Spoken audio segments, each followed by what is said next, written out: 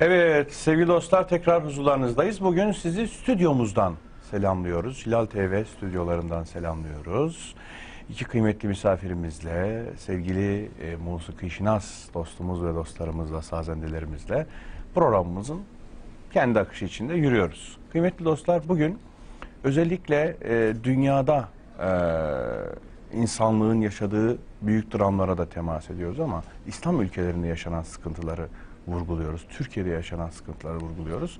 Ve bu konuda da çok kıymetli bir misafirimiz var. Kendisiyle biliyorsunuz Mazlum Der e, başkanı olması münasebetiyle bu zulüm mazlum dengesini de gündeme getiriyoruz ki Ramazan'da bunları da hatırlamalıyız. Ramazan sadece midenin aç bırakılması, susuz bırakılması değil, duyarlılık kazanılması diye ben şahsen düşünüyorum. Farkındalık kazanılmasıdır. Dolayısıyla zulme ve e, zalimliğe karşı duyarlı olmayacağız da niye olacağız diye insanın sorası geliyor. Şimdi üstadım, e, Türkiye'de ve diğer ülkelerde münferit hadiselerle karşılaşıyoruz. İşte şu ihlal oluyor, bu ihlal oluyor, bu tür sıkıntılar yaşanıyor. Tamam doğru ama bir de bir yapı kurulmuş. Yani öyle bir tezgah kurulmuş ki bu tezgah, bu şartlar, bu ortam sürekli üretiyor. Haksızlık üretiyor, tecavüz üretiyor, haddi aşma üretiyor. Buna dair e, sizin neler söyleyeceğinizi merak ediyorum. Yani mazlum derinde öngörüsüyle buna dair neler yapılabilir? Yani bizzat şahsımızdan başlayarak, önce kendi şahsımızdan başlayarak kolektif olarak da neler yapılabilir? Bu konuda doğru sorularım var, merak ettiğim şeyler var. Ee, aslında tabii biz e, zulmün e, tarifini yaparken, zulmün e, insanları zulme sevk eden e, sahipleri araştırırken mutlaka insan tabiatını konuşmamız gerekiyor Hmm. kaçınılmaz olarak. Ta oraya kadar Doğrusu gidiyor hadise. e, elbette ve tarihte ilk e, kayıtlı zulüm Habil Kabil Evet. meselesi. Bir kere onu iyi anlamadan, İyi anlamadan. onu iyi tahlil etmeden zulüm üreten yapıları e, yeterince anlamak mümkün değil. Doğrudur. Zulmü üreten ekonomik sebepler mutlaka vardır. Politik sebepler mutlaka vardır. Stratejik tercihler Vardır. mutlaka vardır. Bunları yok Çıkar kavgaları Ama vardır, Bütün bilmem bunların şunlar bunlar. temelinde yani hepsinin psikoanalitik bir e, teşhisini koyacaksak Habil Kabil meselesini çok iyi anlamamız Hı hı. gerekiyor. E, o çünkü tarihte ilk kayıtlı zulüm. Bir kere e, oraya baktığımız zaman tabi Habil Kabil ihtilafının ne olduğu ile ilgili olarak gerek Yahudi kaynaklarında gerekse Evet. İslam'ın e, tevatüren gelmiş olan Nakledilen eserlerinde. nakil kaynaklarında bir ihtilaf var. Ben e, bir kadın meselesinden mi çıktı yoksa bir adağın e, her Adağın ikisinin kabulü sunduğu meselesi. adağın bir e, Allah tarafından birininkinin kabulü diğerininkinin reddiyle Hı hı. alakalı olduğu gibi teolojik bir tartışmaya girmek niyetinde değilim. Evet. Ama şu var, e, bütün her neden çıkmış ise bu ihtilaf, e, temelinde sana yapılmasını istemediğini başkasına yapma gibi çok temel ahlaki, insani bir e, şey var. Bir e, Kaidenin ihlali var. Evet, kaidenin ihlali var. İşte burada insanlar fert fert kendilerini inşa etmezler ise e, jeopolitik tercihler sizi e, zulüm yapmaya bile isteye Evet. zulüm yapmaya sevk edebiliyor. Evet. E, Veya zulme ortak olmaya, tabii, zulme ortak vararak olmaya, varmayarak. ne yapalım işte şartlar böyle Evet. demeye sevk edebiliyor. Onun için Konjonktür bunun- böyle kardeşim. Şartlar ya Evet, Allah Allah. Şimdi bunu zorlamanın da manası yok. Bak bu böyle oluşmuş filan diye bir meşrulaştırma çabasına da girişiliyor. Ee, yani bu işin felsefesini konuşacaksak bence bunun çok iyi Anlaşılması anlaşılması lazım. gerekir. Değil mi?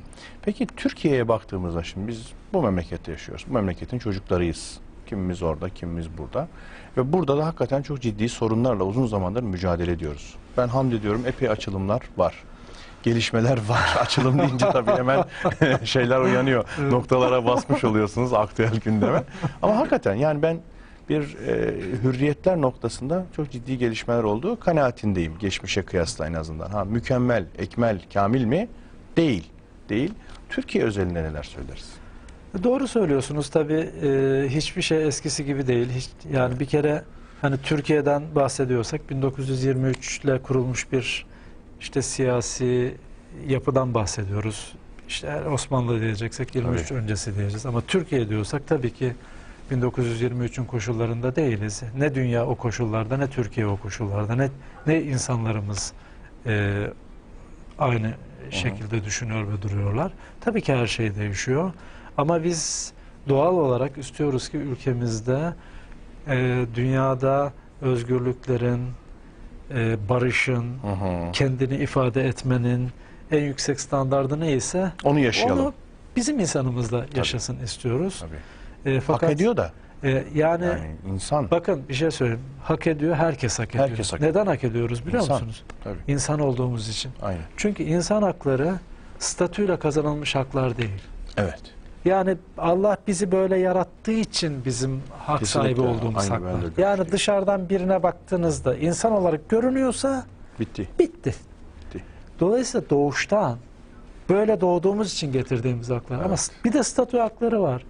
Siz bir e, feodalin çocuğu olabilirsiniz. Olabilirsiniz. Veya bilmem çok zengin birinin çocuğu olabilirsiniz. Elit. O tabii o statüden olabilirsiniz. Seçkinler kaynaklanan grubu, lokalden olabilir. içerisinde bu ülkeyi anlatan bir kavram oldu da son dönemlerde. Ya da çok söylüyorum. böyle gariban Evet. bir, şey bir sınıftan Yani o doğal hukuka karşı işte sonradan oluşturulmuş Tabii. suni statülerin savaşı Tabii. Yani yaşanıyor elbette. aslında. E, zaten öyle oluyor. Yani insanlar doğuyorlar ve doğal ya doğmalarından e, kaynaklanan haklarla e, dünya sahnesine çıkıyorlar. İşte 50 60 70 yıllık bir hayat yaşayıp gidiyoruz ve ondan sonra statü hakları o doğal hakların üzerine geliyor. E, doğal hakkı veren kim? Allah. Allah yaradan, Yani statüyü veren yaratan kim? veriyor tabii. Statüyü veren Toplum. babanızın dedenizin zoru. Evet. Yani eğer zenginseniz çok Evet. bir feodal beyin çocuğuysanız yani dedenizin kullandığı zorla, yaptığı zulümle elde edilmiş statü.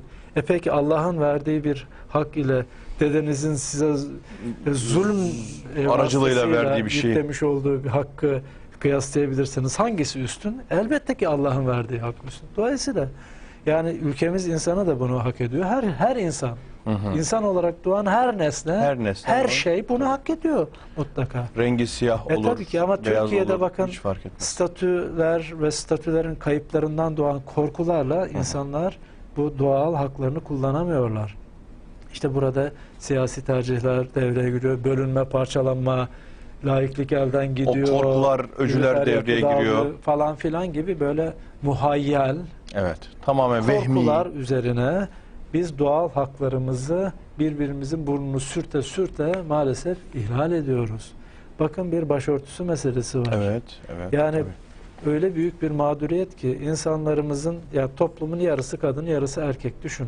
Yani kadınlarımızın önemli bir kısmı başını örtüyor. Örtmese ne fark eder? Bir kişi bile olsa Bir- sonuçta onun bile hakkının korunması elbette lazım. yani okuma hakkından yararlanamıyor. Çalışma hakkından yararlanamıyor. Kendini ifade etme hakkından yararlanamıyor. Evet.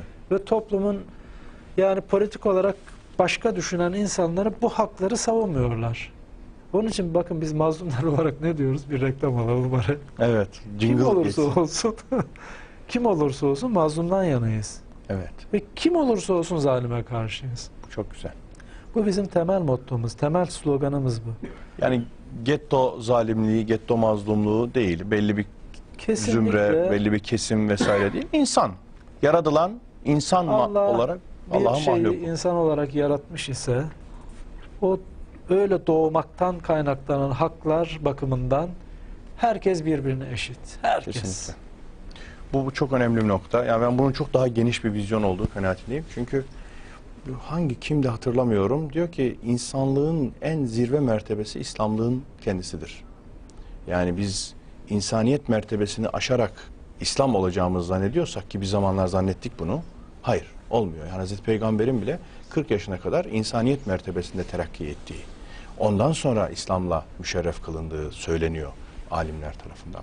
Şimdi sevgili Yusuf Armağan bu iki noktayı sen söyledin. Ramazan'ın bize Evet. getirdikleri noktasında değil mi onu intikal ettirdin. Bir hayata müdahalesi. Allah'ın doğrudan zamana, mekana, alışkanlıklara, yaptıklarımıza, ettiklerimize müdahalesi. İkincisi eee, devrim. Yani alıyor, tepe taklak ediyor. Çünkü devrimde biraz da evet dönüştürme, değiştirme vardır. Bazında eski şeyleri kesme vardır. Ters.